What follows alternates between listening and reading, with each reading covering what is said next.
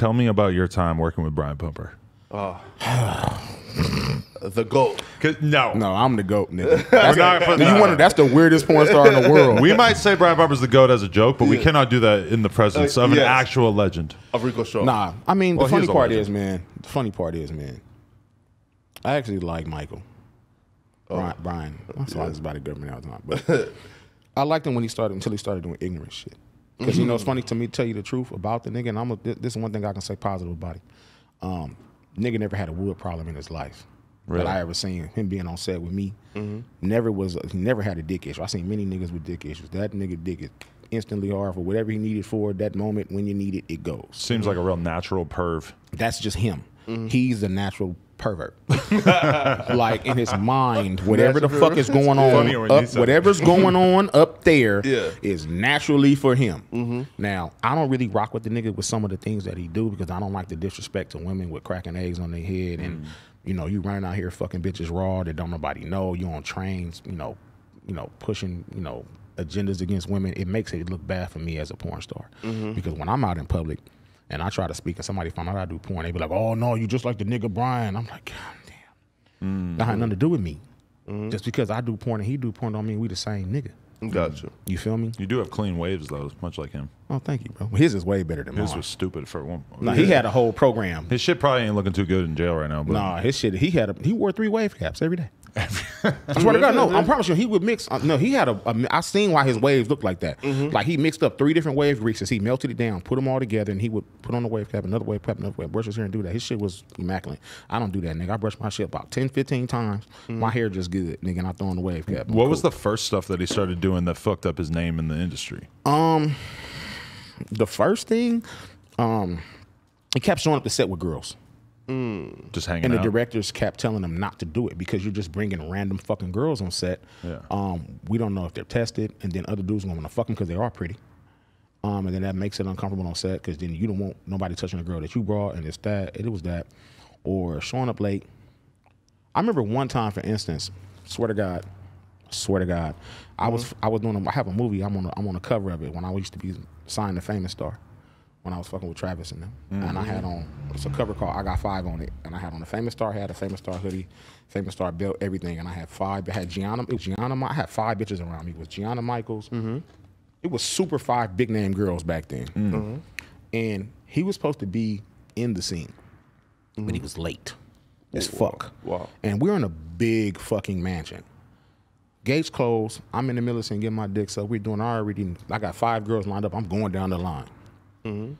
This motherfucker somehow towers the wall, walks in. I'm fucking. I can see him open the door. The director doesn't see it, and I'm like, he just takes his pants off, dick hard, and just walks in the scene.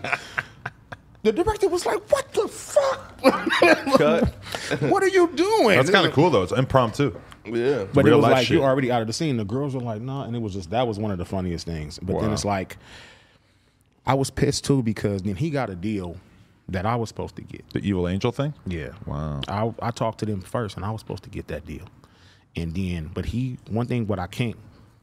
I can't knock him either for this. This nigga was way ahead of our time, way before mm-hmm. us with content and knowing things and owning shit. Yeah. That nigga had like a thousand scenes in the can before we even thought about uh, OnlyFans or anything. He already all the money that he was making, all those scenes that he had with girls, he he had them in the can, just tapes, tapes on tapes on tapes, videos, videos, videos. Yeah. So all the money that he was just even having now came from all the content that he owned pre 2013 back Yeah. of just girls and shit that he owned. Right. And all he had to do was just post it Right. and making all his money. He was way ahead of his time with that. Right. Excuse me. But if he just could have been smarter, but he went to the evil and then he wanted to do ignorant shit. You can't go over the Evil Angel Yeah. and fuck around. They don't play about their paperwork. Mm. They don't play about their paperwork. They don't play about their business. They don't play about their money. Mm-hmm. And when I went over there, I didn't have content saved because I was so used to being on contract and working for people. I didn't have my own content that I mm-hmm. owned. Mm-hmm. So they wanted to give me just a distribution deal, but I didn't have shit to distribute. So he came with that. And he had shit to distribute. So they ended up signing him, which was their mistake. But he was out shooting girls without tests. Mm-hmm. And then both owners of Evil Angel have HIV. You know, Whoa. the owner and his wife. Yeah. Dude, oh. John Stagliano and his wife. Wow. You understand what I'm saying? Right. Yeah. So they don't fuck around. They're not fucking around. And then at the time that you do this, they're in a huge obscenity charge case, millions of dollars of a case that mm. they're fighting right now. And you do this, and you go out and you shoot a girl, and then you go test her after you shoot her, and then the test comes back dirty. What if it was something worse than it was? Mm. Mm. You understand what I'm saying? And that's where he blew his deal. Damn. And they never signed nobody else really after that. That's crazy. They want to fuck with no niggas. Niggas can't fuck up. Niggas fuck up shit. Got you. So you feel as if Brian Pumper is the reason why they stopped fucking with you guys? Or they stopped fucking with No, they didn't stop shooting niggas, but they wouldn't sign the niggas deals no more. Of course. Because they makes people nervous. Because they don't know what I'm gonna do. I'm younger and I'm this and I'm that. But I would have never did no shit like that. You say you were actually mad at him when he got the deal and over you. Was that after he fucked it up or even before he fucked up the deal? Like you were just upset? Well, it wasn't even more that. It was more of I wanted that deal because I know what I would have did with it. Mm-hmm. It would have been literally some more iconic, epic shit that I would have did with that company. Mm-hmm. You understand what I'm saying? I already was working, been working for them for years, doing amazing scenes. They had been putting out movies on me for years, mm-hmm. um, and I wanted that. That would have been my sixth contract. Mm. Mm-hmm. And I love directing. I've directed 47 movies, and I like directing and starring in my shit too. But I wasn't mad at him really because of it. I was just like, you know how a nigga be like, damn, I ain't get it. Why do you think he left the game and just started hanging out on the train and shit? because the gang wasn't fucking with him. He got blackballed. Nigga, Really? Nobody would shoot him. Fully that. blackballed after that? Yeah, nobody after that. Nobody was shooting. Mm. And then people already didn't really like Brian mm. because he was just weird as a person. He's weird. Rapping. Fuck the rapping. It ain't even his rapping is cold, but that dumb dancing shit and trying to start beef with rappers and just the way you move in the city. Like I moved around the city, nigga. I ain't never been shot at, mm. and I'm a street nigga. He been How you- shot at? Hell yeah. Oh, wow. He been shot at all in L.A. Slapped. I done seen a nigga get slapped in a bar. Mm. You you around every day being seen. And he that big getting slapped? Yes, and that's even worse, nigga. Like you that big getting slapped in the street. big as shit. But Like- isn't he also super short? He he's like five seven. Oh, okay. But this nigga's on roids, like Right.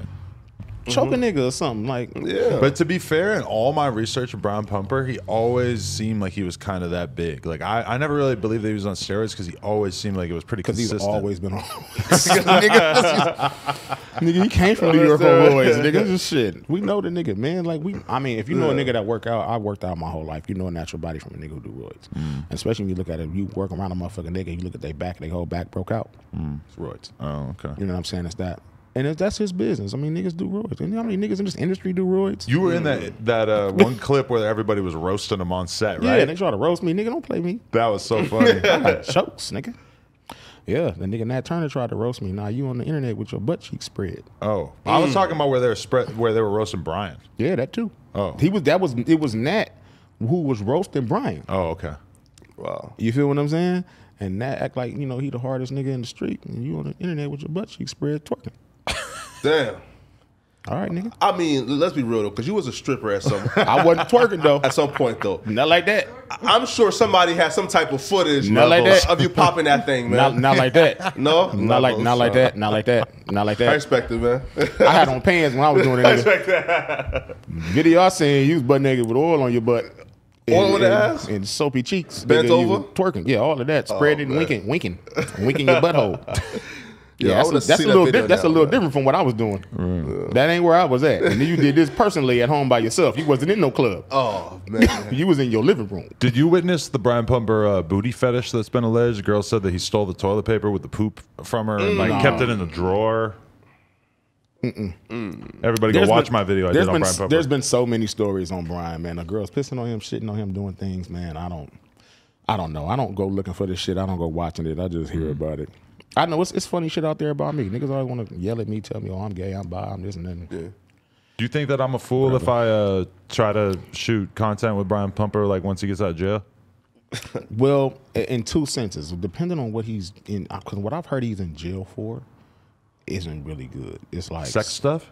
Yeah, it's like underage girls. Oh. So that's what I'm. That's why I'm like, nah. That's bro. probably a good point then, yeah. Yeah, like makes we got to make sure what it is. You know what I'm saying? Because Right. I've heard it's for statutory rape. I've heard it's for underage trafficking. He don't seem like the type who'd really be checking IDs at this point in his He's life. He's not. He's on the train like, oh, you're cute. You're, you're oh, you, I'm not gonna ask you your age. You're Right. 16, you're 17. I'm gonna fuck you, and I'm gonna take you in the train to do that. So Yikes. I feel like that's believable. We just have to know what's gonna happen. Yeah, you know that's what I'm saying? we, we ran into a couple of dudes in this industry, dude, that have been bad. Like, and we've seen the proof of it. Like, when I got blamed and got blamed, like, nah, that ain't me. Hmm. But these dudes have literally beat the shit out of girls, broke their faces in, and Whoa. did stuff or taken advantage of girls on set and actually really raped them or drugged them and done things. This is all coming hmm. out now. Hmm. I was kind of like one of more of the forefronts from it to when girls were mad at her because bitch you're lying and this shit really happened to us Right. Mm-hmm. and they were girls were pissed mm-hmm. so because i would never i'm on the set protecting girls from dudes who are doing weird shit mm. i'm like dude you've been way too aggressive my nigga like fall back bro Okay, guys, we want to thank you so, so much for getting us to 100,000 subscribers right here on the Clips channel. If you want to support, please click that subscribe button. We're trying to get to 200K. Thank you. Thank you so much.